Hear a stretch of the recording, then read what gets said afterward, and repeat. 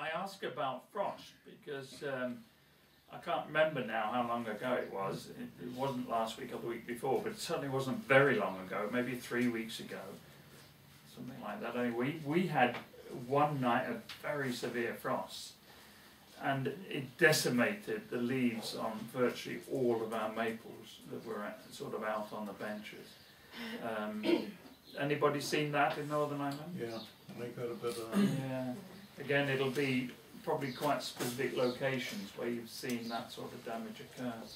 Um, in, uh, generally speaking, not a disaster. It's a little bit of a disaster for, for somebody like ourselves who are trying to sell maples the, the maples you see out that I brought for sale, um, not only did we get them after the frost, but in any case, they've been in our greenhouse since they came. They, these are imported this year. Uh, most of the maples out there from Korea. Um, so you're not seeing any damage to those.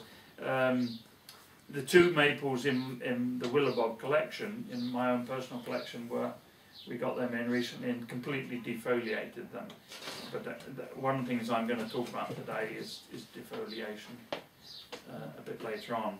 Um, so anybody going to raise any other questions about what their trees are doing, whether they're growing or they're not growing? Copper Beech were lovely last year, this year they're absolutely pathetic. In, in, what, in manifesting itself in what way absolutely the, pathetic? The leaves there's few leaves compared to last year. Was full leaf and it mm. just doesn't look happy. Mm. And this is bonsai rather than not tree in the ground, yeah. Um, anybody else with a similar sort of experience? A tree not doing as well as I expected um, no yeah, I think the, the, the winter we had was very wicked and it's taken them a long time even to get over it, like, you that's, know. That's exactly I think that there's exactly, probably yeah. what's happening there. It's even worse than that in a way, really, because um, if you think about it, uh, we've had, in the UK as a whole, has had two very severe winters in one year. Not in a calendar year. Pardon? Start of the year and end of the year? Yeah. Within one 12 month period, we had two very severe winters. so 2009, the winter came late, came well after Christmas and was very severe. And um, 2010, the winter came, uh, hang on, early? Early. Well, anyway, you know what I mean. Never mind the dates. Um, what year is it? I have no idea. And the period between, of course, was quite short and not a particularly good growing season. Um, so I'm almost certain that your Copper Beech is suffering from the effects of those two very severe winters. And to illustrate that further, um, a tree that uh, uh, I, I, bought in Italy about four years ago um, Actually, I bought it to be sold, but it ended up going in Mr. Greedy's bonsai collection. Um, we would all refer to it as English oak, which I think is a little bit unfortunate because this tree never been in anywhere near England mm. until I brought it back from Italy. Quercus petraea. Uh, um, the only common name it seems to have is English oak, but it's found all over Europe. So anyway, you, but you all know the oak I mean. The oak that's almost certainly growing out there now. A native tree uh, generally, by most standards, thought of as pretty damn tough, really. Uh, anyway, the the um, the tree stood outside. Uh, it's a big tree, mind you. It's not a little weedy thing. It's a tree with a trunk like this standing, and it was in a pot this big, so not a tiny little pot, and it was in a goodish growing medium, more or less pumice, which you know, for those of you, we won't go all over the growing mediums from March, but you know, pumice is a very, very good growing medium.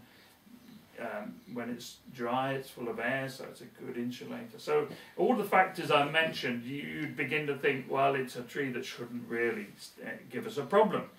Um, it stood out for the first of the two winter periods that we've been talking about stood outside, along with almost all of the native bonsai that we have, the elms and the field maples and so on, birch, all stood outside. Um, now this tree clearly didn't like that first winter that we've been talking about, But it grew last year. It didn't grow well, but it grew. So I thought, well, thank goodness for that. It's recovered. It's going to take me a little while to, to you know build some vigor back into it. It's going to take almost forever, in any case, to build a canopy on this huge trunk. But it was going to be interesting exercise. So this winter, it went into the polytunnel at the start of the bad weather. Now, of course, our polytunnel is it's not a heated polytunnel, so everything in the polytunnel still froze. Um, but I mean, for instance, we had trident maples in the polytunnel, not that one actually, but uh, other trident maples, and they had exactly the same experience and have grown away relatively well this year. The oak that I'm talking about is, as of we speak, stone dead. Um, and the only thing I can think of is two successive spells of very bad weather with a very poor growing medium in growing season in the in the middle just led the tree to expire now this brings into something play something else that I touched on briefly at some point last time I'm sure and we'll keep coming back and mentioning it it's pertinent to lots of things we do in bonsai the age of the tree with very young, vigorous trees, they will withstand all kinds of punishment. With really old, venerable old trees, they are much less likely to stand setbacks and they're much more likely, um, even if they're relatively um, established as bonsai, the very old trees are going to be a good bit more vulnerable also, not always, of course, but um, going hand in hand with very old trees, when we talk about bonsai, often means very expensive trees as well. So, for goodness sake, if you've got trees that are even approaching that category, please give them that little bit more thought about what they might need uh, to get through the winter. Um, I did wonder what goes on. Um, so, but the, actually, what do we do about your beech tree? Well, you've got to protect it next year through the winter. You you give it whatever good care you can this year to help it get through this year and grow as best as it possibly can.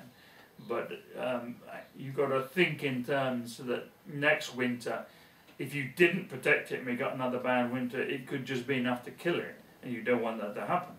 So you protect it however you do it. If you've got a greenhouse, or well and good. If not, then it's a deciduous tree, so in the winter it needs no light, so it could come in your garage, in your shed, in your basement.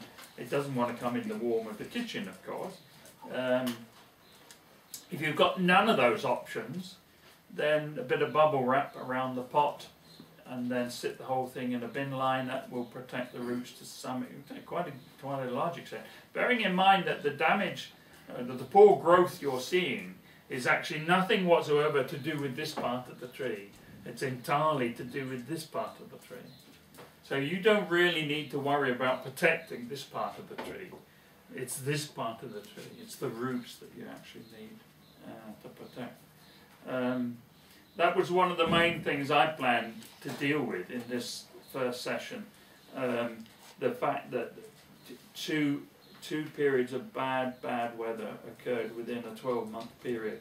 And a lot of people have said to me, well, what did you experience at the nursery of bonsai? Well, surprisingly few losses. Uh, my big oak was one. Uh, my best black pine was another, but that could be a completely different story, although related, I think, also.